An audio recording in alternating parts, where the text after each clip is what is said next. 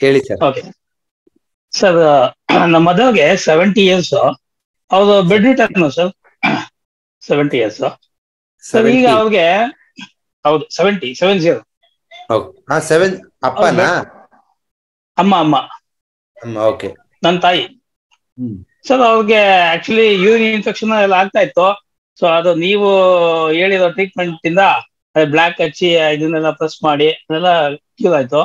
But sir ಅವರು ಏನೇನೋ ಮಾತಾಡ್ತಾರೆ. ಅಂದ್ರೆ ಅವ್ರ ಪಕ್ಕದಲ್ಲಿ ಯಾರ್ಯಾರು ಒಂದ್ ನಾಲ್ಕೈದು ಜನ ಕುತ್ಕೊಂಡಿರ್ತವ ಯಾವಾಗ್ಲೂ ಅವ್ರ ಹತ್ರ ಕಮ್ಯುನಿಕೇಟ್ ಮಾಡೋ ರೀತಿ.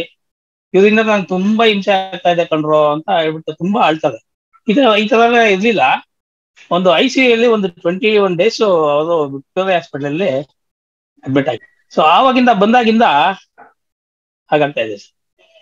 ಅದರಲ್ಲೂ ಈ ಇವತ್ತು ಪೌರ್ಣಮಿ ಅಲ್ವಾ?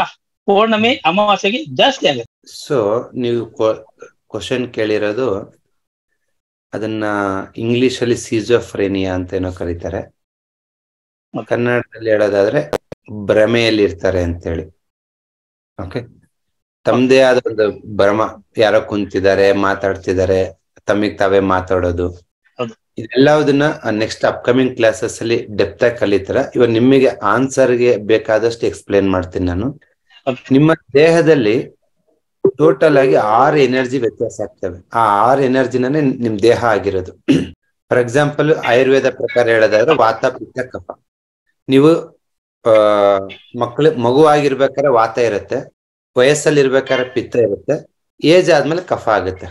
ಓಕೆನಾ ಆ ಸೆವೆಂಟಿ ಇಯರ್ಸ್ ಆದ್ಮೇಲೆ ಏನಾಗುತ್ತೆ ಅಂದ್ರೆ ಮತ್ತೆ ವಾತ ಸ್ಟಾರ್ಟ್ ಆಗುತ್ತೆ. ಓಕೆ ಇದನ್ನ ನಮ್ಗೆ ಇನ್ನು ಫೈವ್ ಎಲಿಮೆಂಟ್ಸ್ ಅಲ್ಲಿ ಹೇಳೋದಾದ್ರೆ ವಿಂಡ್ ಎನರ್ಜಿ ಅಂತ ಕರಿತೀವಿ. ಫಸ್ಟ್ ಜೀರೋ ಇಂದ ಟ್ವೆಲ್ ಇಯರ್ಸ್ ತನಕ ವಿಂಡ್ ಇರುತ್ತೆ. ಟ್ವೆಲ್ ಇಂದ ಟ್ವೆಂಟಿ ಫೋರ್ ತನಕ ಈಟ್ ಇರುತ್ತೆ. ನೀವು ಯಂಗ್ ಏಜ್ ಬಂದಾಗ. ಋತುಮತಿ ಆಗೋದು ವಯಸ್ಸಿಗೆ ಬರೋದು. ಸೊ ಈ ವಿಂಡ್ ನೇಚರ್ ಏನಂತಂದ್ರೆ ಜೀರೋ ಟು ಟ್ವೆಲ್ ಇಯರ್ಸ್ ಕುಂತಲ್ ಕುಂದ್ರಲ್ಲ ನಿಂತಲ್ ನಿಂದ್ರಲ್ಲ.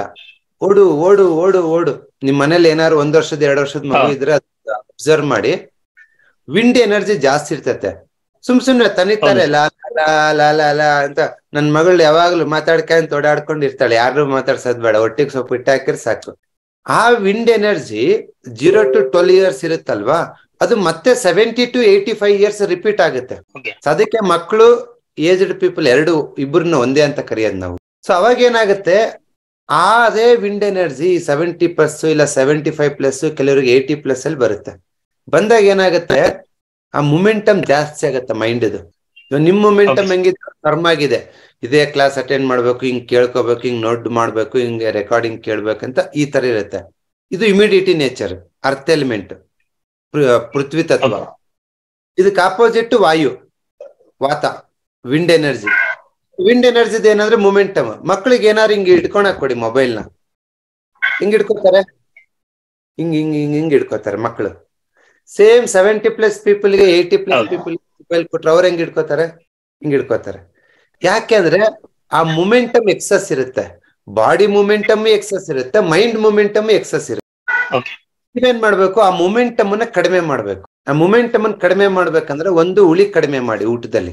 ಎರಡನೇದು ಈ ರೈಟ್ ಹ್ಯಾಂಡ್ ರಿಂಗ್ ಫಿಂಗರ್ ಅಲ್ಲಿ ಉಗುರು ಕೆಳಗಡೆ ಒಂದು ಎಲ್ಲೋ ಡಾಟ್ ಇಡಿ ಇದು ಸಾಲ್ತಾ ಇಲ್ಲ ಅಂದ್ರೆ ಮಿಡಲ್ ಫಿಂಗರ್ ಅಲ್ಲಿ ಈ middle middle of the line ಅಲ್ಲಿ ಮತ್ತೆ ಅದ್ರ ಕೆಳಗಡೆ ಎರಡು ಎಲ್ಲೋ ಡಾಟ್ ಇಡಿ.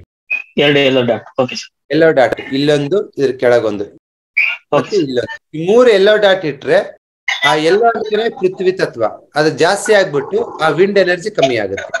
ನಿಮ್ಗೆ ಮ್ಯಾಕ್ಸಿಮಮ್ ಅಂತ ಇದ್ರದ್ದು ರಿಸಲ್ಟ್ ಬರ್ಬೇಕಾದ್ರೆ ಮಿನಿಮಮ್ ಒಂದು ಅಪ್ಲೈ ಆಗಲಿ ಸರಿ.